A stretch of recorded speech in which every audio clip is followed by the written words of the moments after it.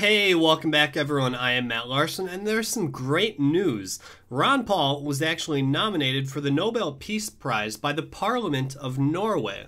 This is great news because I don't know if there's been anyone louder than Ron Paul in the US government to bring the troops home, end these unconstitutional wars, and just stay out of people's business. You know, that uh, the isolationist point of view, like the mainstream media likes to say, when in reality it's non interventionalist. So, what you can do to actually make this happen and not just get Ron Paul nominated, but actually have him receive the award is to go to change.org. I'm going to put the link down below in the description. Filled out, it's real fast. I already filled mine out. I'm going to submit it as soon as I get this uh, going on down there. And it's really easy, it's free.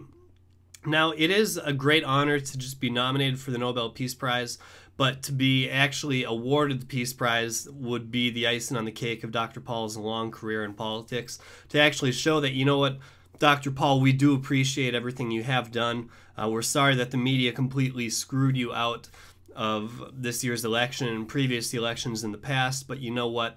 We're going to give you something to go home and be proud about. Not just being proud about the liberty movement and how fast we're expanding, but that we actually do appreciate everything that you have done, not just for the United States, but for the world as a whole. So the link for this will be down below in the description. I, I can't ask you enough to please go and sign the petition.